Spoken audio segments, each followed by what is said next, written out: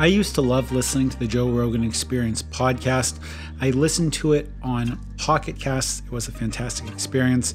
And if I ever wanted to watch video, that would pop up on YouTube. Now, since Joe Rogan has been acquired from Spotify, the entire experience aspect of the Joe Rogan experience has really gotten considerably worse. And a lot of that very much stems from the fact that Spotify is trying to get the biggest amount of ROI back from the video portion of this licensing deal. Now, the Spotify platform in general, listening to podcasts is pretty mediocre, and it's something that I'm not specifically fond of.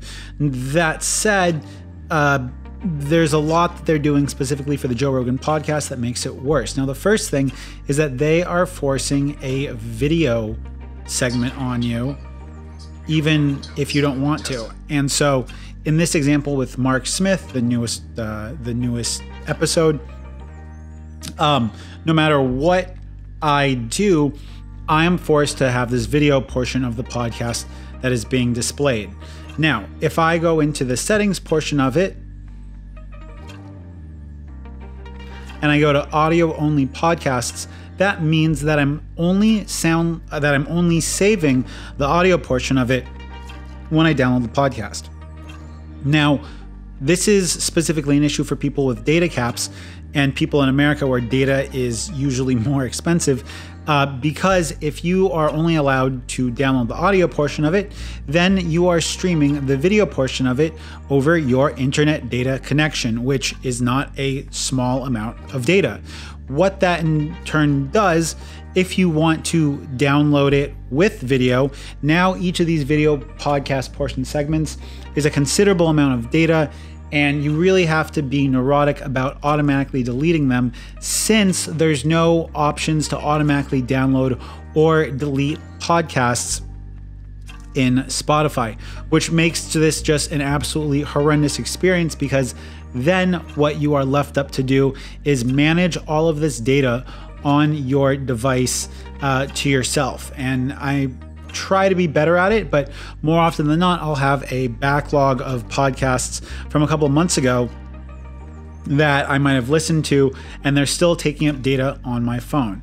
Now, let's talk about how this affects the actual day to day listening experience for most people outside of data. Now, if you download this and you don't want to be have the, the video portion of it streaming potentially in the background, then you can go ahead and go into offline mode. And then at that point, um, it would consume less data. But in the recent updates, Spotify has removed their quick settings toggle for the options so that you can go ahead and uh, turn on and off offline mode um, separately. Now you have to go into the app and click through to do that. No doubt Spotify is doing that because they want people um, to, to not do that as often. And then on top of that, we were promised to have some type of comment section where people could have discussions in it.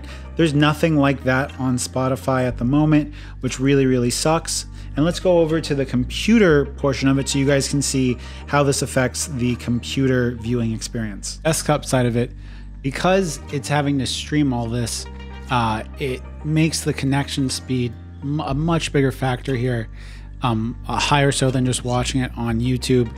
I'm trying to watch this video right now of some of his more recent interviews, and the experience on this is just super, super laggy.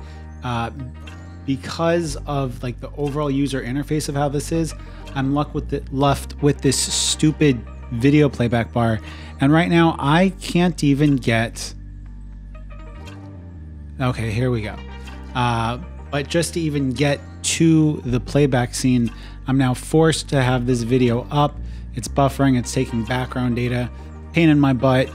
And I just, what if I don't want to have this? I mean, like, it, they're literally forcing this video streaming platform as part of the audio experience. And it's just not done in an elegant manner. It's not done in a, in a background manner at all. There, you see, it took two clicks for me to even pause the video. And really, it's just transparent that they are trying to get the most out of their investment with Rogan as they should be. At the same time, it's making the experience unelegant, unintuitive, and just less user friendly, along with just ultimately less convenient.